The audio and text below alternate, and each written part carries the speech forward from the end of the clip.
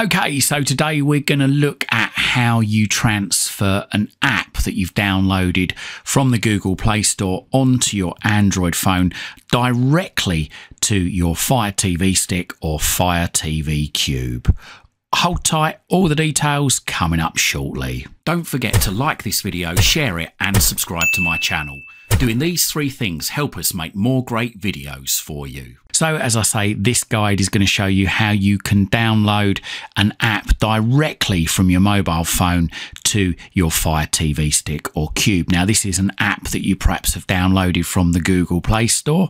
So this is going to show you how you can do that. So first of all, what we need to do is we need to download an app in itself from the Google Play Store. So go into it and then tap in the search and then we need to search for Easy Fire tools just as it's shown on screen there. Tap on it once you see it and there we go. It's this app just here with this icon. So tap install, wait for it to download and install. Hopefully shouldn't take too long. Just be patient with it though.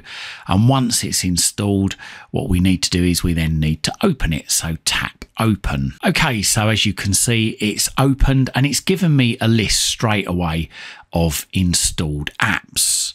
These are apps that are installed actually on my phone rather than apps that are installed on the Fire Stick or Cube. Now, first of all, what I need to do is I need to connect into my Fire Stick or Cube. Now, I need to ensure that I'm connected to Wi-Fi, the same Wi-Fi network that my Fire Stick is connected to or my Fire TV Cube's connected to. So just tap on this little icon up the top there and that will then search the network and try and find a stick or a cube. And there you go, as you can see, it's found one. And there you go, it's found my Fire TV Cube. It's discovered that. So tap on the name and then it says use this device permanently. Well, if you are going to use it permanently, then tap yes. If you're not, then tap no. So then what we need to do is we just need to tap this little plug up there in the top right hand corner and it's saying trying to connect. Now what you'll see on your Fire Stick or Cube screen is this here.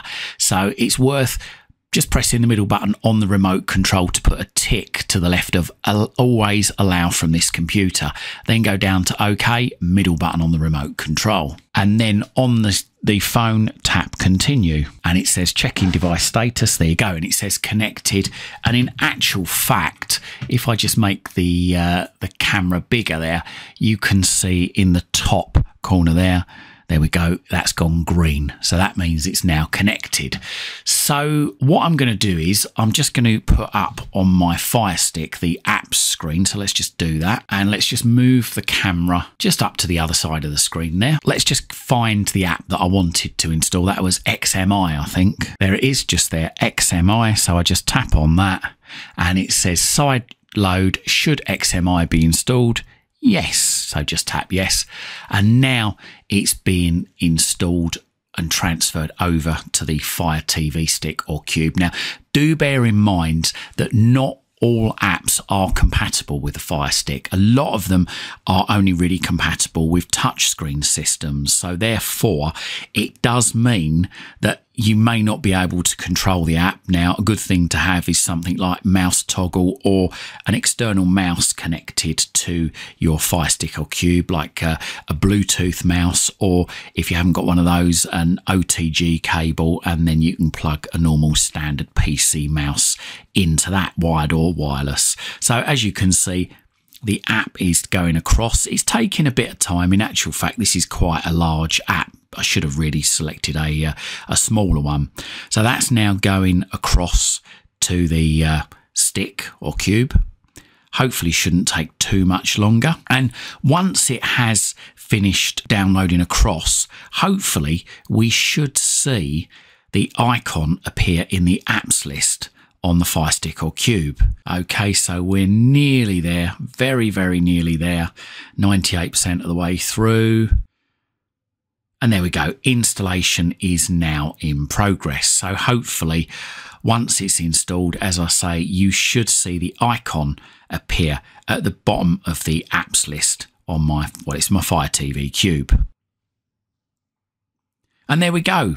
So it's installed, and as you can see, the icon for XMI has now appeared. Like I say, it's hard to say whether or not it's usable until we give it a try because the apps, most of these in the Google Play Store on your phone, were designed to be used on a touchscreen system. It may not work on a TV system, but it's worth giving it a go. But what if you wanted to install an APK file? Well, let's just uh, let's just do that. Let's just uh, come out of this for a second. And uh, if we go into Chrome and let's just go to my website. That's cwtek.co.uk forward slash D. And let's try and find something to download. So let's say download TV Bro. Let's tap on that. Let it download. As you can see at the top there, it says it's downloading the file. Hopefully shouldn't take too long. Okay, so that's downloaded. So let's just come out of this and go back into Easy Fire Tools. And then this time what we want to do is we want to select Custom APK File just at the top there. And then tap Select File. Find the file that we just downloaded. There it is, TV Bro. And then tap Install. If we've lost the connection, it will say no device connection. So let's just tap on this little icon just here there goes discovering again. It's found one device and there you go, found it, tap on it and then just tap on the two little plugs in the top right hand corner. And then check your screen. If you've got allow USB debugging come up on your Fire Stick or FireCube screen, allow it, tap continue. And there we go. It confirms that it's connected. So now I can tap install again. Should TV Bro browser be installed? Tap yes. And there you go. It's now transferring across to the Fire Stick or Cube and then it will start installing. Now, this again is quite a big file, so it's going to take a little bit of time to download. So let's just be patient with it. What I'm going to do is I'm going to pause this video and we'll come back to it when it's nearing the end of the transfer and show you the installation part. Wow, I really should have uh, downloaded or uploaded a smaller file, but we're nearly there. We're very nearly there. And now it's just installing the app on the Fire Stick or Cube. So hang tight for a little bit longer. It looks like on the phone that nothing's going on, but believe you me, there is something going on. Just hold fire. And hopefully, in a few seconds, we should see the TV Bro app appear just next to, there you go, next to the XMI app that we installed earlier. So there you go, that guide, that showed you how you can install Google Apps directly from your phone, which has been downloaded from the Google Play Store or downloaded from an independent store or an independent website too. I hope you liked this video and if you did, hit that thanks button and consider making a donation to this channel or if you're in the market for a new Fire TV stick, Fire TV Cube, Fire Stick accessories or a VPN or you just want to have a look at my Amazon store, then have a look in the description down below. There's some great links down there for you buying, subscribing, and donating really does help support this channel. It helps me to be able to dedicate more time to research and bring you these videos. And also, whilst you're at my YouTube channel, why not stick around? I've got thousands of other videos for you right here, right now, covering all sorts of subjects. Hopefully, whilst you're here, you're going to find something to educate you, entertain you, amuse you, and maybe even save you some time and money. And also, if you see any videos around here that you think your friends, your your family or your work colleagues might be interested in, then please don't forget to share these on your social media timelines. Thanks for watching.